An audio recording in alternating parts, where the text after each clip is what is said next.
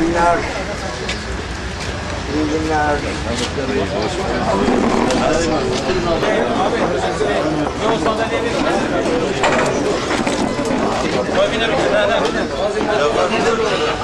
Hangi hastane? Çocuklarınız, gençleriniz, aşiretiniz, kardeşleriniz insanlar e, büyük zor altındalar. Ve buradan çıkmak için bizim bu e, AKP'nin Firavun rejimine e, dur dememiz lazım. E'di bese dememiz lazım. Bunun başka bir çaresi yoktur. Bunun iki tane yolu var. Bir tanesi e, işte e, Kılıçdaroğlu'na oy verirsiniz. Kılıçdaroğlu da bugün evet dediğine yarın hayır der. Dersim'e gider e, bir şey konuşur. Ankara'ya gelir başka bir şey konuşur. E, MHP ile arada paslaşır. E, her yola girer ama sonuçta e, hiçbir şey olmaz. Olmuş olsaydı zaten bugüne kadar olurdu. 30 yıldır sürüyor bu savaş. 30 yıldır bu partilerin hepsi e, idareye şu ya da bu şekilde katıldılar. Bir de bizim yani iki tane parti var aslında bugün Türkiye'de. Bir tanesi Savaş Partisi, bir tanesi Barış Partisi.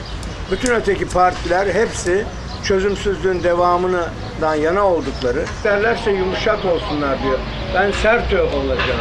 Polis e, diyor ölmüşse diyor ben sert olacağım. Ama 40 bin tane genç ölmüşse sesini çıkartmayacak. Böyle bir adalet olmaz, böyle bir zulüm olmaz ve buradan çözüm çıkmaz. Yani bu konuda hepimizin hemfikir olması lazım. Bunun Türk olmakla, Kürt olmakla bir ilgisi yok.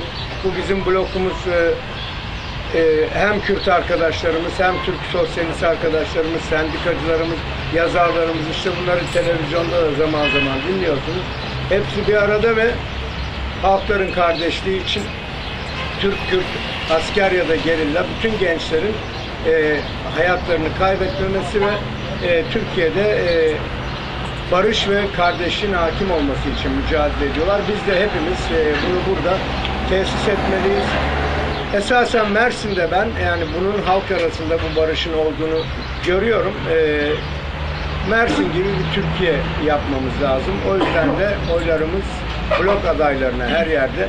Bence sadece burada değil işte Adıyaman'da da arkadaşlarımız blok adaylarına vermeli. Hakkari'de de e, işte Van'da da e, Ankara, İstanbul'da da yolumuz açık olsun diyoruz. İyi günler hepinize bizi kabul ettiniz. Hoşçakalın.